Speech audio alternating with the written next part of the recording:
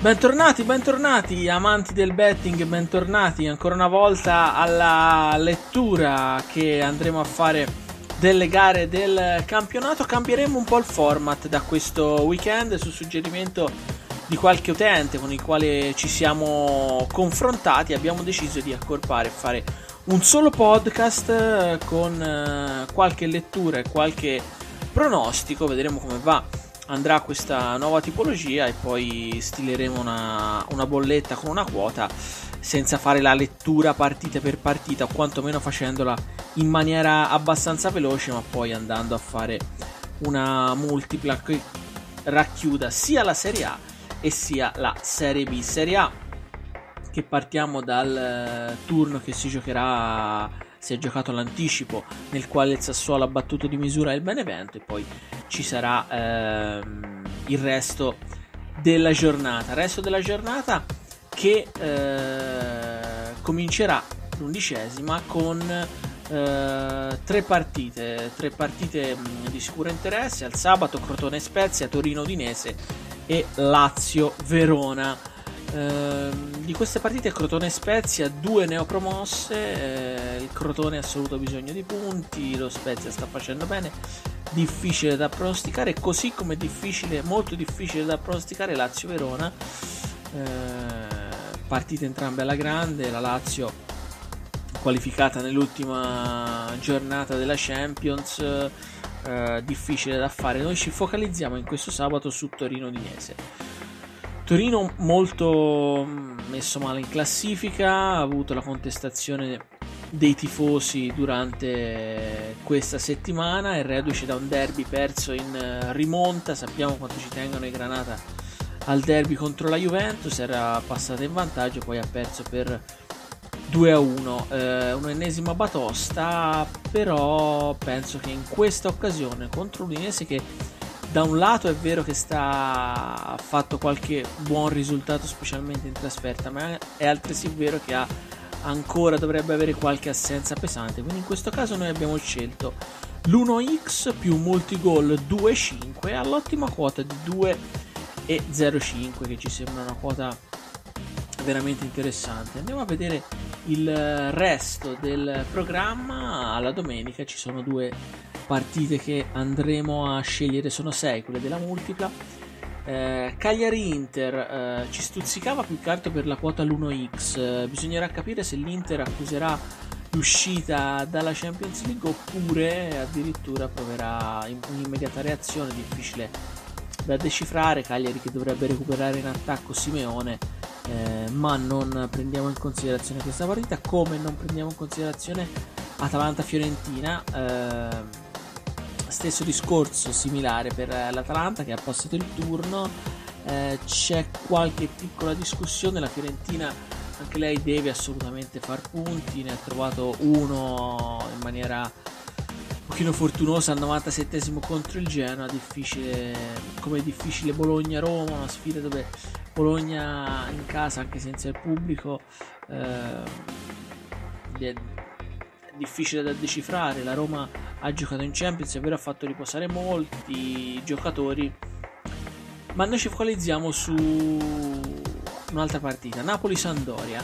Eh, il Napoli è vero che si è fatto recuperare all'ultimo contro la Real Sociedad, ma è anche vero che comunque sia passato il turno, che era quello che volevano e l'ottima quota di 1,40 stuzzicano un poco per l'1 Napoli-Sandoria, una Sandoria che ultimamente non sta facendo benissimo. Genoa-Juventus eh, la saltiamo perché troppo, troppo basse le quote eh, per la vittoria dei bianconeri che potrebbero comunque sia soffrire contro un Genoa che cerca punti salvezza. Prendiamo invece in considerazione l'ultima gara, Milan-Parma. Eh, alla quota di 1,73 abbiamo scelto il gol perché il Parma a San Siro mh, mm, ha già fatto lo scherzetto all'Inter, negli ultimi anni sta facendo bene, Gervinio è in buona, in buona condizione, il Milan qualcosina sta concedendo, eh, è vero che i rossoneri sono favoriti, ma in questo caso andiamo sul gol a 1,73. Passiamo alla Serie B, eh, Serie B che è... Mh, mm, è cominciata già con due anticipi, con il Chievo che ha battuto la Regina 3-0 e il Monza che è andato a vincere per 2 a 0 in eh, casa del Venezia. Eh, il resto della giornata Brescia Salernitana, Cosenza Reggiana, Cremonese Ascoli, Entella Empoli, Lecce Frosinone, Pisa Pordenone, Pescara Vicenza, Cittadella Spal. Eh, partiamo da Pisa Pordenone, il Pisa che ha vinto eh, il recupero della settima giornata, che ha giocato eh, martedì in rimonta in pochi minuti contro l'Ascoli. Eh, la squadra di D'Angelo ha tolto veramente un uh, grosso, ha lavato un grosso bucato, come si suol dire. Una vittoria fondamentale per i nerazzurri. Vedremo se si saranno sbloccati. Noi sì, abbiamo fiducia, nonostante il Pordenone sia una squadra temibile. E andiamo con l'1x più multigol 2,5 a 1,93. Entella Empoli, diverse le forze in campo, eh, un po' troppo rischioso però comunque sia giocare il 2, quindi andiamo con l'X2 che è comunque un'ottima quota 1,29. Anche l'ultima partita che analizziamo è un X2, Cittadella Spalla 1,45. Eh, Cittadella è l'ennesimo, l'abbiamo detto più volte, l'ennesimo anno in cui si trova a recitare il ruolo di sorpresa, ma la Spal, vista contro il Pisa nell'ultimo turno, ha veramente impressionato, ma vista nelle ultime partite la squadra di Marino sta veramente facendo bene e in questo momento è reduce da 5 vittorie di fila a soli 2 punti dalla capolista salernitana.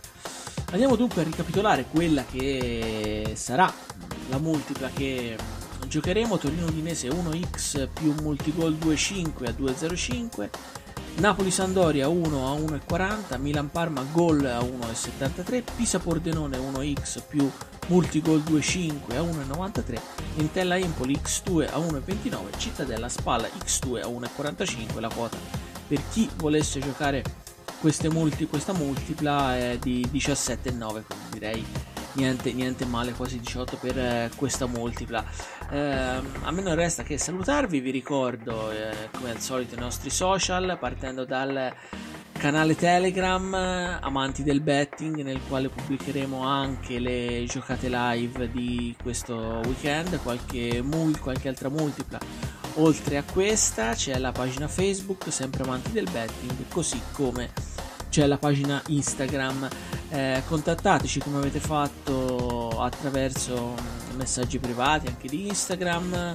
Eh, le risposte arriveranno subito, ci sono tanti tanti messaggi eh, come detto, le risposte arriveranno quanto prima e proprio da uno, da uno più di uno di questi messaggi che sono arrivati ripeto abbiamo cambiato format da questo weekend non faremo più due podcast separati per la e per la B facendo la lettura di tutte le partite ma andremo eh, potremo sì fare un pochino la lettura delle gare però ne sceglieremo qualcuna per costruire una multipla così come abbiamo fatto questa volta Me non resta che darvi l'appuntamento al prossimo podcast. Ciao a tutti!